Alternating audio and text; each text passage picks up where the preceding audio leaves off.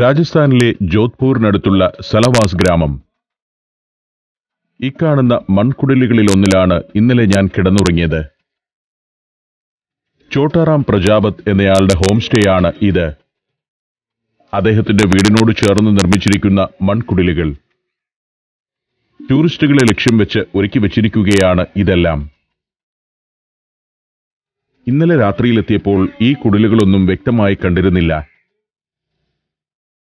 രാത്രിയിൽ ഞാൻ താമസിച്ച വീടിന്റെ രൂപവും അതിലെ ചിത്രപ്പണികളും രാജസ്ഥാന്റെ തനതായ ഗ്രാമീണതയുമാണ് ഇവിടെ എന്നെ ആകർഷിക്കുന്നത്.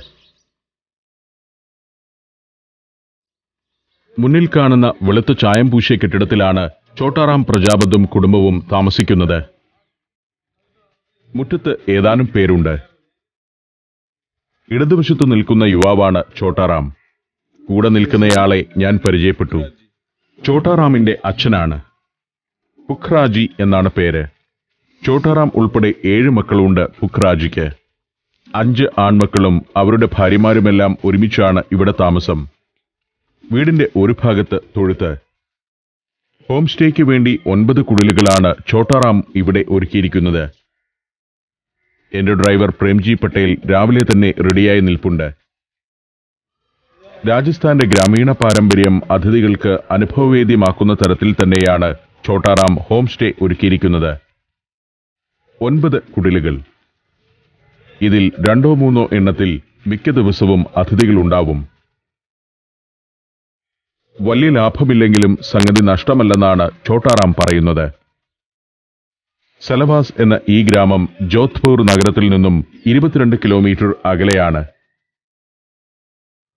ഒരു ടൂറിസ്റ്റ് ഡെസ്റ്റിനേഷനൊന്നുമല്ല സലവാസ്. എങ്കിലും ഇന്റർനെറ്റിലൂടെ ബുക്ക് ചെയ്തും ചില ടൂർ ഏജന്റുമാർ ഏർപ്പാടാക്കുന്നതനുസരിച്ചുമെല്ലാം ഏതാനും ടൂറിസ്റ്റുകൾ ഇവിടെയും എത്തുന്നു. ചോട്ടറാമിന്റെ വീടിന്റെ അടുക്കളയോട് ചേർന്നുള്ള മുറ്റമാണിത്. അവിടെ ചോട്ടറാം എനിക്ക് രാവിലത്തെ കാപ്പി തരുന്നതിനുള്ള ഒരുക്കത്തിലാണ്. ബ്രേക്ക്ഫാസ്റ്റ് അല്ല ബെഡ് കോഫി എന്ന് വിശേഷിപ്പിക്കാം. ഒരു കമ്പിളി പുതപ്പ് കൊണ്ട് മൂടി പുതച്ച് ഹുക്രാജി ഒരു വശത്തുണ്ട്. ഹോം സ്റ്റേയിലെ എല്ലാ ജോലികളും ചെയ്യുന്നത് പുക്രാജിയുടെ കുടുംബാംഗങ്ങൾ തന്നെയാണ്. സാധാരണയായി ഇവിടെയുള്ളവർ ഇത്തരം കയറ്റുകട്ടിലുകളിൽ ഇരുന്നാണ് ഭക്ഷണം കഴിക്കാറുള്ളത്. എനിക്കും പുഖ്രാജിക്കുമുള്ള കാപ്പിയെത്തി കുട്ടികൾ സ്കൂളിലേക്ക് പോകാൻ ഒരുങ്ങുന്ന നേരം നേരം ഏഴുമണിയായിട്ടുണ്ട് ഞാൻ കാപ്പി കുടിച്ചുകൊണ്ടിരിക്കെ ചോട്ടറാമിന്റെ മക്കൾ സ്കൂളിലേക്ക് പോകാൻ ഒരുങ്ങുന്നു മുത്തച്ഛൻ വാത്സല്യപൂർവം നിർദ്ദേശങ്ങൾ നൽകുന്നുമുണ്ട്. ഒരു രാജസ്ഥാനി ഗ്രാമീണ കുടുംബത്തിലെ പുലർക്കാല ജീവിതം ഞാനിങ്ങനെ കൗതുകത്തോടെ കണ്ടിരിക്കുകയാണ്. ഫുക്കറാജി ചോട്ടാറാമിന്റെ ഇളയ പുത്രന്റെ ഒരുക്കത്തിന് വേഗം കൂട്ടാൻ ശ്രമിക്കുന്നു. ഷൂസിനകത്ത് ഒരു കൊട്ട മണ്ണ് അവൻ സ്കൂളിൽ നിന്ന് കൊണ്ടുവന്നിട്ടുണ്ട്. നല്ല തണുപ്പുള്ള പ്രഭാതമാണ്. സ്കൂളിൽ പോകും മുമ്പ് കുളിക്കുന്ന പരിപാടിയൊന്നും ഉണ്ടെന്ന് തോന്നുന്നില്ല. ഗ്രാമീണമായ ജീവിത പ്രതിസന്ധികളെയൊക്കെ അതിജീവിച്ചു വളരുന്ന കുഞ്ഞുങ്ങൾ തന്നെ. രാജസ്ഥാന്റെ വിദൂര ഗ്രാമങ്ങളിലും കുഞ്ഞുങ്ങൾ സ്കൂളിൽ പോകാൻ ഇറങ്ങുന്ന പ്രഭാതത്തിലെ കാഴ്ചകൾ ഇങ്ങനെയൊക്കെ തന്നെയാണ്. ചെറിയൊരു ഗ്രാമമാണ് സലവാസ്. ചോട്ടാറാമും ഞാനും കൂടി രാവിലെ ഗ്രാമമൊന്ന് നടന്നു കാണാമെന്ന് തീരുമാനിച്ചു. മൺമതിലുകൾക്കരികിലൂടെ തെരുവിലേക്കിറങ്ങി. അലഞ്ഞു തിരിയുന്ന പശുക്കൾ. പുലർച്ചെ തന്നെ തെരുവെല്ലാം ആരോ അടിച്ചു വൃത്തിയാക്കിയിട്ടിട്ടുണ്ട്. തുറന്നുവരുന്ന ഒരു ചെറുകടയുടെ മുന്നിൽ രണ്ടു പേർ തീ കാഞ്ഞിരിക്കുന്നു. പത്രവും എത്തിക്കഴിഞ്ഞു. ഗ്രാമവഴി വൃത്തിയായി കോൺക്രീറ്റ് ചെയ്തിരിക്കുന്നു. ഇവിടെ റോഡ് ഇത്രമാത്രം സുന്ദരമായതിന്റെ കാരണം ചോട്ടാറാം തന്നെ പറഞ്ഞു തന്നു. ഇവിടെ അടുത്താണ് സർപഞ്ച് അഥവാ ഗ്രാമമുഖ്യന്റെ വീട്. ഒരു സംഘം കുട്ടികൾ അവരുടേതായ ഒരു കൊച്ചു തീക്കുണ്ടമുണ്ടാക്കി അതിനു ചുറ്റും തീകാഞ്ഞിരിക്കുന്നു. സ്കൂൾ ബസ് വരാനുള്ള കാത്തിരിപ്പാണ്. ഇതാണ് ഗ്രാമത്തിലെ സ്ട്രീറ്റ് ലൈറ്റിന്റെ സംവിധാനം. വളരെ ലളിതമാണ് കാര്യങ്ങൾ. വീണ്ടും മുന്നോട്ട് നടക്കുമ്പോൾ സർപഞ്ചിന്റെ വീട് കാഴ്ചയിലേക്കെത്തുന്നു. ഗംഭീരമായൊരു കൊട്ടാരം. ഇവിടുത്തെ ഗ്രാമീണരെക്കാൾ വളരെ ഉയരത്തിലാണ് സർപഞ്ചിന്റെ സാമ്പത്തിക സ്ഥിതിയെന്ന് വീട് കണ്ടാൽ തന്നെ മനസ്സിലാക്കാം. ഗ്രാമത്തിലെ പരമ്പരാഗത ജന്മിമാരും ഉയർന്ന സാമ്പത്തിക സ്ഥിതി ഉള്ളവരുമൊക്കെയാണ് ഇവിടെ സർപ്പഞ്ചാവുന്നത് നമ്മുടെ നാട്ടിൽ ജനാധിപത്യം ശരിയായ അർത്ഥത്തിൽ നടപ്പാവുന്നുണ്ടെന്നും ഉത്തരേന്ത്യയിലെ ഉൾനാടൻ ഗ്രാമങ്ങളിലൊന്നും അതില്ല എന്നും മനസ്സിലാക്കാനാവുക ഇത്തരം യാത്രകളിലാണ്. സർപ്പഞ്ചിന്റെ വീട് കഴിയുന്നതോടെ റോഡിന്റെ അവസ്ഥ ഈ വിധമായി. പ്രാകൃതാവസ്ഥയിലുള്ള വെറും മൺവഴി. ആ പാറക്കെട്ടിനു കീഴേ നിന്നുമാണ് ഭക്തിഗാനങ്ങൾ ഒഴുകി വരുന്നത്. അതാണ് സലമാസിലെ പ്രധാന ക്ഷേത്രം. ശിവക്ഷേത്രമാണ്. ഉച്ചഭാഷണിയിലൂടെ ശിവസ്തുതികൾ ഒഴുകി വരുന്നു. പാറച്ചെരുവിൽ അലഞ്ഞു നടക്കുന്ന പശുക്കളും പട്ടികളുമെല്ലാമുണ്ട്. ഗ്രാമത്തിലെ ഏറ്റവും ഉയർന്ന സ്ഥലത്തു തന്നെയാണ് ക്ഷേത്രത്തിന്റെ സ്ഥാനം. ഇടുങ്ങിയ വഴികളിലൂടെ ചോട്ടാറാം എന്നെ നയിക്കുകയാണ്. ഒരു കൊച്ചു ഗ്രാമമാണ് സലവാസ്. പരവതാനി നെയ്ത്ത് ഉപജീവനമാർഗമാക്കിയവരുടെ ഒരു ഗ്രാമം. ഇവിടെ കുറെ വീടുകൾ തൊട്ടുതൊട്ടു നിൽക്കുന്ന ഒരു ഭാഗമുണ്ട്. ഇത് ഗ്രാമത്തിലെ ബ്രാഹ്മണരുടെ ഏരിയയാണ്. രാജസ്ഥാനിലെ ഓരോ ഗ്രാമത്തിലും ഇത്തരത്തിൽ ഓരോ വിഭാഗത്തിൽപ്പെടുന്ന ആളുകളുടെ ക്വാർട്ടറുകൾ ഉണ്ടാവും. പല കാര്യങ്ങളിലും ജാതീയമായ വേർതിരിവുകളും പ്രകടമാണ്. ഇവിടെ ചോട്ടറാമിന്റെ സമീപം നിൽക്കുന്നതും ഒരു ബ്രാഹ്മണനാണ്. ചോട്ടറാമിനെ പോലെയുള്ള ഗ്രാമവാസികൾ വീട്ടിൽ നടത്തുന്ന പ്രത്യേക പൂജകൾക്കായി ക്ഷണിക്കുന്നത് ഇവിടെയുള്ള ബ്രാഹ്മണരെ തന്നെ. ഈശ്വർ എന്നാണ് ഗ്രാമവഴിയിൽ കണ്ടുമുട്ടിയ ഈ തൊപ്പിക്കാരന്റെ പേര് സ്കൂളിൽ പോകാനായി ഒരുങ്ങി നിൽക്കുകയാണ്. തൊട്ടടുത്ത് തന്നെ കാതിൽ കടുക്കനിട്ട കൂട്ടുകാരനുമുണ്ട്. ഭക്ഷണപാത്രവുമായി രാവിലെ ജോലിക്ക് പോകുന്നു ചിലർ. മൂടിപ്പുതച്ച് ഒരു ബ്രാഹ്മണ വൃദ്ധൻ പശുക്കളുടെ ആധിക്യമാണ് ഇത്തരം ഗ്രാമങ്ങളിലെല്ലാം കാണുന്നത്. ഓരോ ഗ്രാമത്തിലും നൂറുകണക്കിന് പശുക്കൾ ബന്ധനമൊന്നുമില്ലാതെ നീങ്ങുന്നത് കാണാം. പശുക്കളെ നന്നായി സംരക്ഷിക്കുന്നുമുണ്ട് ഇവർ. പ്രായമായ പശുക്കളെ പരിചരിക്കുന്ന ഗോശാലകൾ എല്ലാ പട്ടണത്തിലുമുണ്ട്. ഗ്രാമത്തിലെ പല പല തെരുവുകളിലൂടെ ചോട്ടാറാം എന്നെ കൊണ്ടുപോവുകയാണ്. സെലവാസിലെ ഏറ്റവും പഴയ വീടുകളുടെ ഒരു ഭാഗമുണ്ട്. അവിടേക്ക് നടക്കുമ്പോൾ ഗ്രാമത്തിലെ പ്രധാന അങ്ങാടിയിലേക്ക് എത്തുന്നു സെലവാസിലെ പ്രധാന കച്ചവട സ്ഥാപനങ്ങളെല്ലാം ഉള്ളത് ഇവിടെയാണ്. അരനൂറ്റാണ്ട് മുൻപ് വരെ ജൈനന്മാർ തിങ്ങിപ്പാർത്തിരുന്ന ഗ്രാമമാണ് സലവാസ്. വളരെ കുറച്ച് ജൈന കുടുംബങ്ങൾ ഇപ്പോഴും ഈ ഗ്രാമത്തിലുണ്ട്. ഇവിടെ ഒരു ക്ഷേത്രമുണ്ട്. ജൈനന്മാരുടെ ക്ഷേത്രമാണ്. വിദൂര ദിക്കുകളിൽ വരെ ചെന്ന് കച്ചവടം നടത്തിയിരുന്ന സലവാസിലെ ജൈനന്മാർ വലിയ സമ്പന്നരായിരുന്നു. അവരിൽ നല്ലൊരു ശതമാനവും വീടുകൾ ഉപേക്ഷിച്ച് ഇവിടെ നിന്നും പോവുകയാണ് ഉണ്ടായത്. പത്തൊൻപതാം നൂറ്റാണ്ടിന്റെ അവസാന ദശകങ്ങളിൽ അവരിവിടെ കൊട്ടാര സമാനമായ വീടുകൾ പണിതു.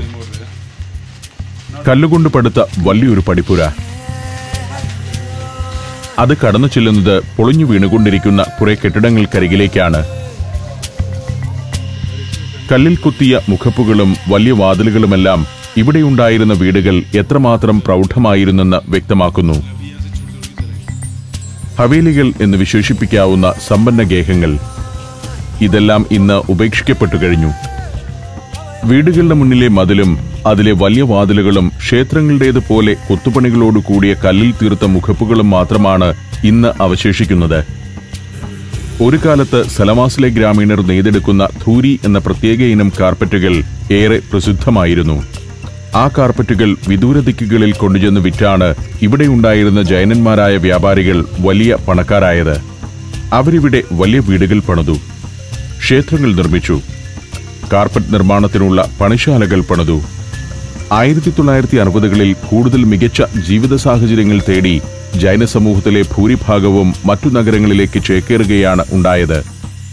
സലമാസിൽ നിന്നുള്ള ജൈനന്മാർ കൂടുതലും ജോധ്പൂരിലേക്കാണ് പോയത്.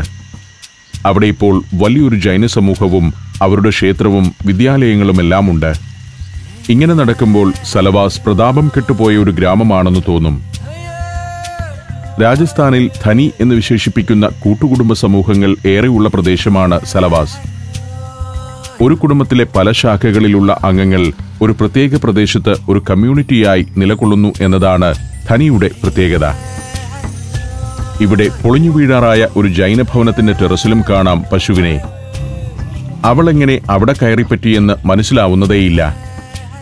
ഒരു കാലത്ത് ഏറ്റവും പ്രൗഢമായ വീടുകൾ തന്നെയായിരുന്നു ഇവയെന്ന് ഇങ്ങനെ കാണുമ്പോൾ മനസ്സിലാവും. കൂറ്റൻ കൽപ്പാളികൾ കൊണ്ടാണ് ചുവരുകളുടെ നിർമ്മാണം. പല വീടുകളും അനാഥാവസ്ഥയിലാണ്. ഏതാനും ജൈന കുടുംബങ്ങൾ മാത്രമേ ഇന്ന് സലവാസ് ഗ്രാമത്തിൽ അവശേഷിക്കുന്നുള്ളൂ. കൈകൊണ്ട് നെയ്തെടുക്കുന്ന പരവതാനിക്ക് ആവശ്യക്കാർ വർദ്ധിച്ചതോടെ സലവാസിലെ പ്രജാപതി സമുദായം വളർച്ചയുടെ പാതയിലാണിപ്പോൾ.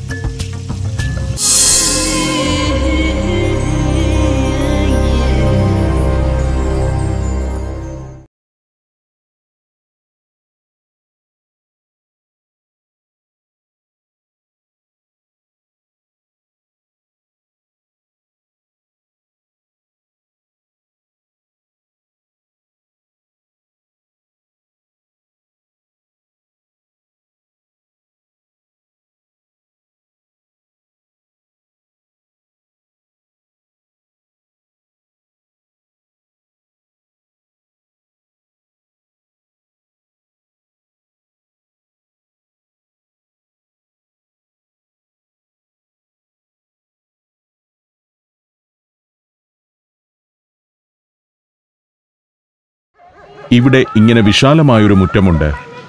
ഒരു വിദ്യാലയത്തിന്റെ കളിസ്ഥലമാണിത്. വസുസ്ഥലി വിദ്യാപീഠ് എന്ന മിഡിൽ സ്കൂളിന്റെ കെട്ടിടങ്ങളാണ് ചുറ്റുഭാഗത്തും. സലവാസ് ഗ്രാമത്തിലെ തന്നെ പ്രധാന സ്കൂളാണിത്. ഇത്രയൊക്കെയുള്ളൂ വിദ്യാലയത്തിന്റെ കെട്ടിട സൗകര്യങ്ങൾ. തെരുവിന്റെ ഒരു ഭാഗത്ത് കൊല്ലന്മാർ രാവിലെ തന്നെ ജോലി തുടങ്ങിയിരിക്കുന്നു. കല്ലുളി കാച്ചി മൂർച്ച വരുത്തുകയാണ് ഒരാൾ. രാവിലെ പണിക്കിറങ്ങാനുള്ള തൊഴിലാളികളുടെ ആയുധങ്ങളാണ്. ഉലയിൽ വെച്ച് ചുട്ടു പഴുപ്പിച്ചെടുത്ത ഉളി ചുറ്റിക കൊണ്ടടിച്ച് മൂർച്ച കൂട്ടിയെടുക്കുന്ന ജോലി. നമ്മുടെ പുതിയ തലമുറയിലെ കുട്ടികളൊന്നും ഇത്തരം പണികൾ നേരിൽ കണ്ടിട്ടുണ്ടാവില്ല. പണ്ട് കൈകൊണ്ട് ചക്രം തിരിച്ചാണ് ഉലയിൽ തീ ഊതിയിരുന്നതെങ്കിൽ ഇന്ന് മോട്ടോറിന്റെ സഹായത്തോടെയാണ് കാറ്റടിക്കുന്നതെന്ന വ്യത്യാസം മാത്രം. കനലിൽ ചുട്ടുപഴുത്തു കിടക്കുകയാണ് കല്ലുളികൾ. അത് ചവണ കൊണ്ടെടുത്ത് ഇരുമ്പുകട്ടിയുടെ മുകളിൽ വെച്ച് ഇരുമ്പ് കൂടം കൊണ്ടടിച്ച് കൂർപ്പിച്ച് വെള്ളത്തിൽ മുക്കി ദൃഢമാക്കുന്നു.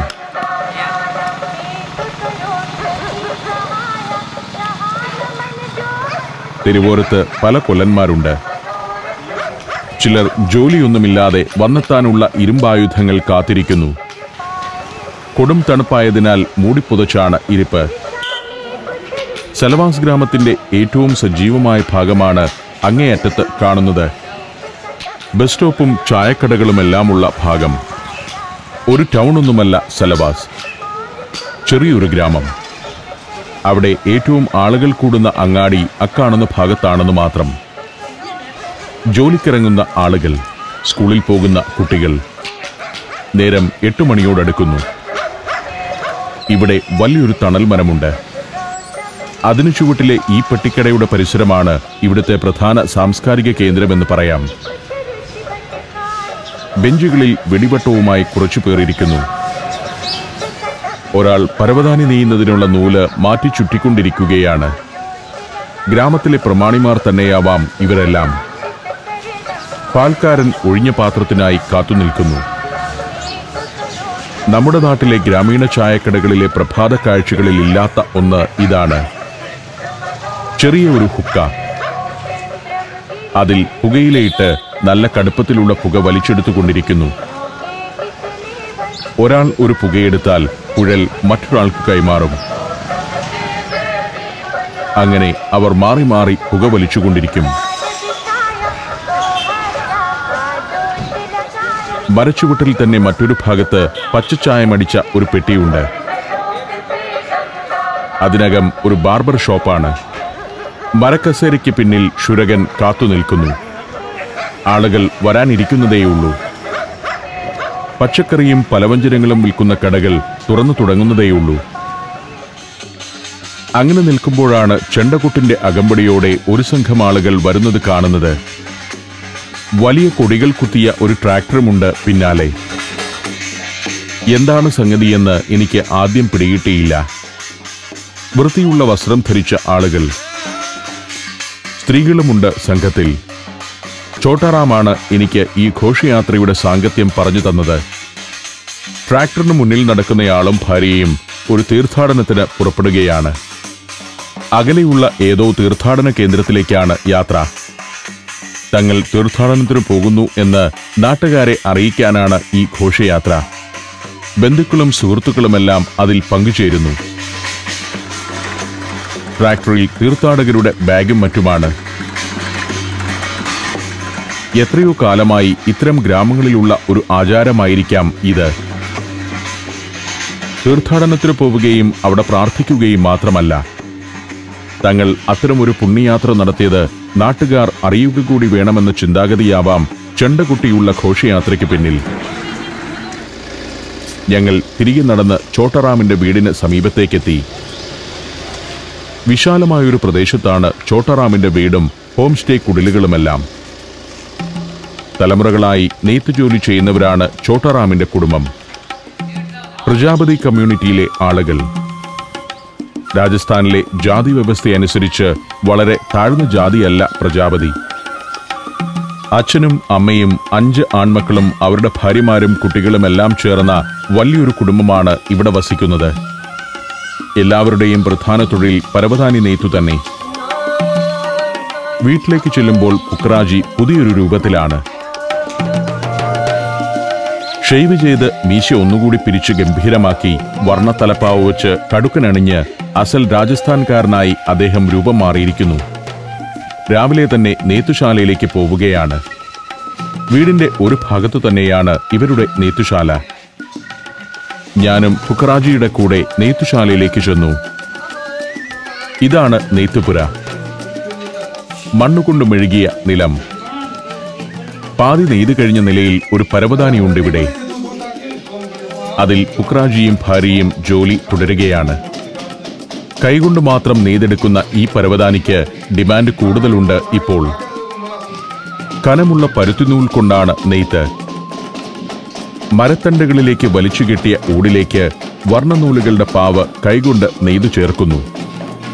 ധൂരി എന്നാണ് ഇത്തരം കട്ടിക്കാർപ്പറ്റുകൾ അറിയപ്പെടുന്നത്.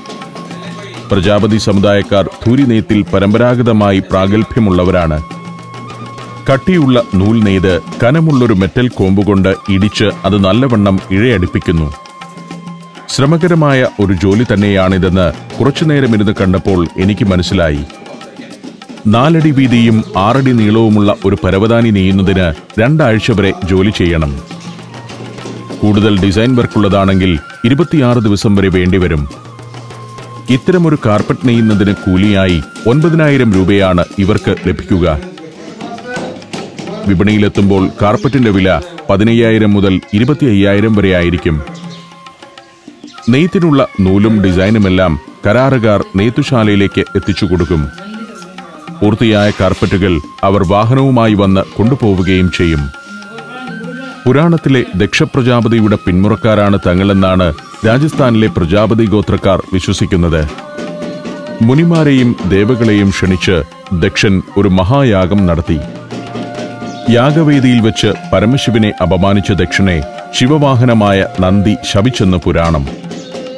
കലിയുഗത്തിൽ ദക്ഷപ്രജാപതി ഗോത്രം താഴ്ന്ന ജാതിക്കാരായി പോകുമെന്നായിരുന്നു ശാപം.